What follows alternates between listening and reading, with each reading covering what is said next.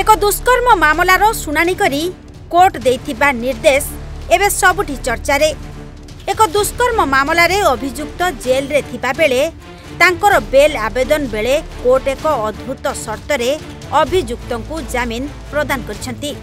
Court କହିଛନ୍ତି ପୀଡ଼ିତାଙ୍କୁ ବିବାହ କରିବା ସହିତ ନବଜାତ ଶିଶୁର ଯତ୍ନ ନେବାକୁ ହେବ। କିଛି ଏମିତି ସର୍ତ୍ତ ରଖି ଅଭିଯୁକ୍ତକୁ ଜାମିନ ଦେଇଛନ୍ତି କୋର୍ଟ।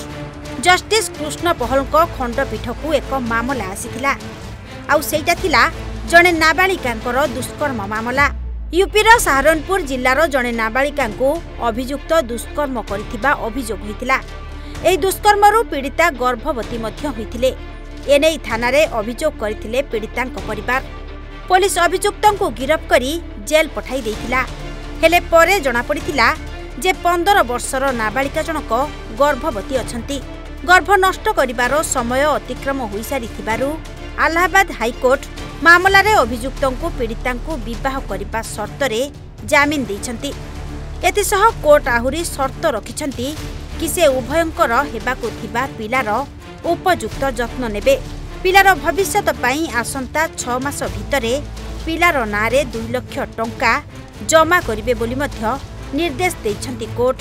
ତେବେ ବାସ୍ତବ କଥା ହେଉଛି ପୀଡ଼ିତା ଓ ଅଭିଯୁକ୍ତଙ୍କ ମଧ୍ୟରେ ପ୍ରେମ ସମ୍ପର୍କ ଗଢ଼ି ଉଠିଥିଲା। ସେ ବିବାହର ପ୍ରତିଶ୍ରୁତି ଦେଇ ପୀଡ଼ିତାଙ୍କ ସହ ଶାରୀରିକ ସମ୍ପର୍କ ସ୍ଥାପନ କରିଥିଲେ।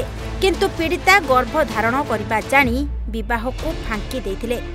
ପୀଡ଼ିତା ପନ୍ଦର ବର୍ଷର ନାବାଳିକା ଓ ଅଭିଯୁକ୍ତ ସାବାଳକ ହୋଇଥିବାରୁ ତାଙ୍କ ବିରୋଧରେ ଦୁଷ୍କର୍ମ ଅଭିଯୋଗ ଆଣିଥିଲେ ପୀଡ଼ିତାଙ୍କ ପରିବାରବର୍ଗ। Bureau report Odisha Bhaskar.